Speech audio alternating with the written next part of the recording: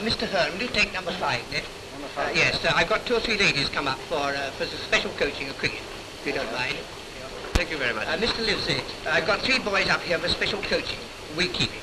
I wonder would you pay attention to them for us? Yes. And uh, we hope they're to be two future England cricketers. Yes, I hope so. Yes.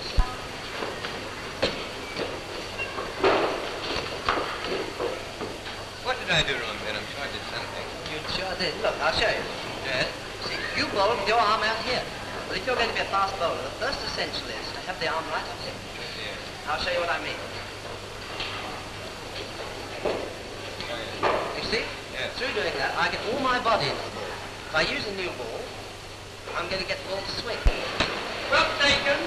You can probably do a little bit better if you get your feet slightly wider apart while you're waiting to receive the ball. It'll give you a bigger opportunity of moving with quickness and certainty can get your body behind the ball. I want you to get your left foot to the pitch of the ball, not straight down the wicket. Now you're playing here, and I want you to get your left foot over there. Like that, and left elbow right up through into the ball. Now that's you do that.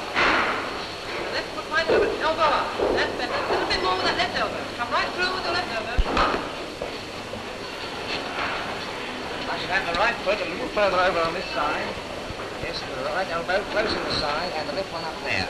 Now the movement is that straight back and.